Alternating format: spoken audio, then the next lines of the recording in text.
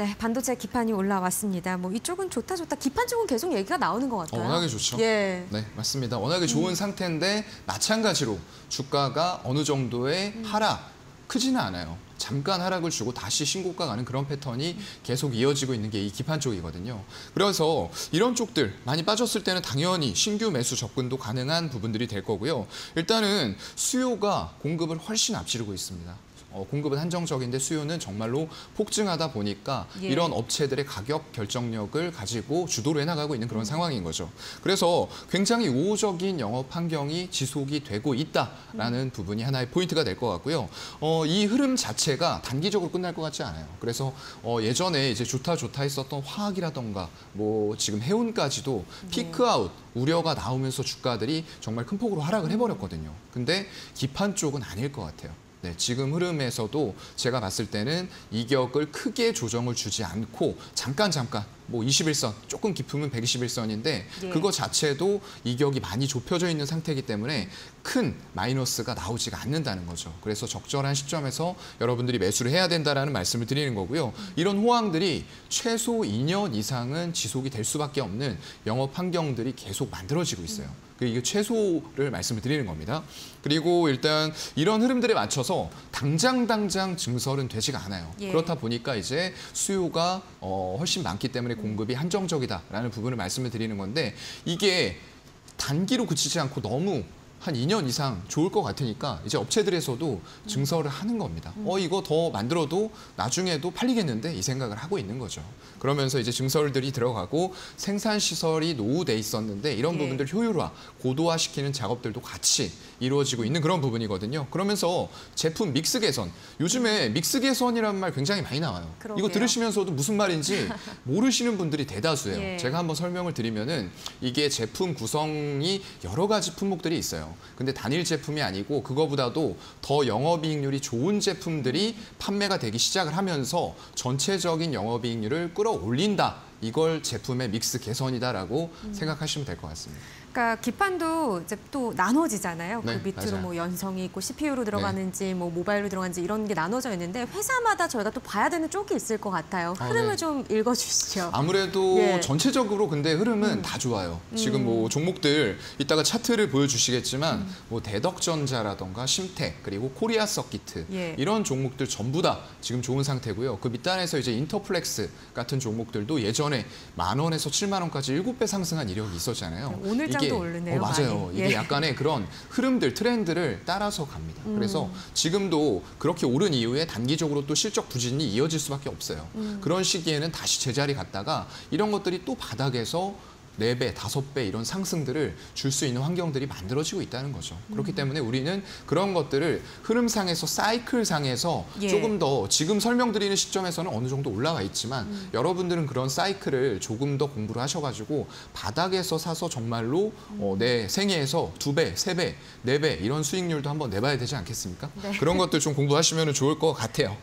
네, 그러면 은 이제 종목을 하나하나 살짝 살짝 짚어주시면 좋을 것 같아요. 네. 그래도 그 중에서 좀 좁혀봐야 되잖아요. 예. 약간 이제 반도체 아까 말씀드린 종목들은 반도체 기판 쪽이에요. 근데 음. 예. 저는 이제 그쪽보다도 약간 통신 쪽 어. 관련된 기판 얘기를 좀 하고 싶어요. 예. 오늘도 아마 강하게 오르고 있을 텐데 이수페타시스입니다. 예, 네, 이게 오늘 10%까지 수익 맞아요. 나옵니다. 지금. 이거 엄청나게 상승하면서 또 이제 신고가 패턴으로 막 가려고 하고 있죠. 이게 MLB입니다. 어, 그 모자 MLB 아니고요. multi layer board의 MLB라고 생각하시면 되고요. 이 PCB 제조하고 있어요. 그래서 이 주요 사업이 이수 엑사보드라고 있었는데 이쪽에 경쟁사가 아까 말씀드렸던 어떤 코리아 서키트 그리고 네. 인터플렉스 이런 쪽들이 될 겁니다. 그래서 그쪽들과 경쟁을 하고 있는 그런 체제가 될 거고요. 이게 IT 기술은 점점 더 첨단화되고 어떤 정보통신 장비 자체도 굉장히 고성능화가 이루어지고 있어요. 우리 네. 예전에는 막 이런 벽돌폰 쓰다가 뭐 2G, 3G, LTE 지금은 5G 왔잖아요. 뭐 비록 속도는 제대로 안 나오고 있으나 5G 조금 있으면 또 6G 얘기 나올 거고요. 예. 이런 것들은 필연적으로 투자가 이루어지면서 4차 산업, 앞으로 또 5차 산업 얘기도 나오겠죠. 점점 더 그런 환경에 맞춰서 구축이 될 수밖에 없습니다.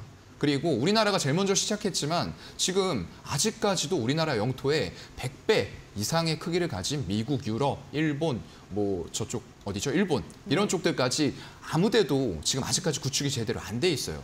결국에는 이런 것들에 들어가는 제품군들이 전부 다 영토 크기에 비례해서 실적이 나옵니다. 예전에 그 KMW 주가 올라간 거 보셨죠? 네. 우리나라에서만 기지국 설치하는데 그 정도의 실적이 퍼포먼스가 나온 거예요. 물론 이제 통신사들은 약속했던 거에 1%도 설치 안 했습니다. 예, 좀 정신 좀 차려야 될 것 같고요. 네, 일단 어, 좀 이어서 말씀을 드리면은 예. MLB 아까 말씀드린 multilayer board인데 국내 일본 업체가 전부 다 철수했어요. 그럼 중국 업체 남았는데 우리나라하고요. 중국 업체 장비들 지금 힘 못 쓰고 있죠. 지금 미국도 바이든이 방한해서 챙길 거 다 챙겨가고 우리한테 뭔가 주겠지만 어, 일단은 중국산에 대해서는 굉장히 제재를 계속 할 거예요. 그리고 중국도 시위를 하겠죠. 예. 그만큼 물밑에서 무역 전쟁, 패권을 잡기 위한 전쟁은 계속 되고 있다라는 부분들이에요. 그래서 미중 분쟁의 반사 이익을 분명히 얻을 수가 있을 것 같고요. 이미 이쪽에서는 구조조정도 다 끝났어요. 그럼 살아남은 업체들이 다른 업체들 하던 것까지 가져와서 파이를 더 키울 수 있다라는 말씀을 저는 드리고 싶고요. 우월적 지위 를 가지고 있습니다. 어, 리포트 나온 게 이제 심텍하고 약간 비슷한 2019년도의 심텍과 유사한 상황으로 가고 있다라는 리포트도 누군가 이제 냈더라고요. 네. 네. 이스페타시스 같은 경우는 오늘 이제 10%까지도 슈팅이 나오고 있는데 어쨌든 이 주가에 이 투자를 확대한다 이런 내용들도 좀 영향을 미치고 있는 것으로 보여집니다. 오늘 10.4%대 8,020원의 흐름을 가져가고 있는데 네.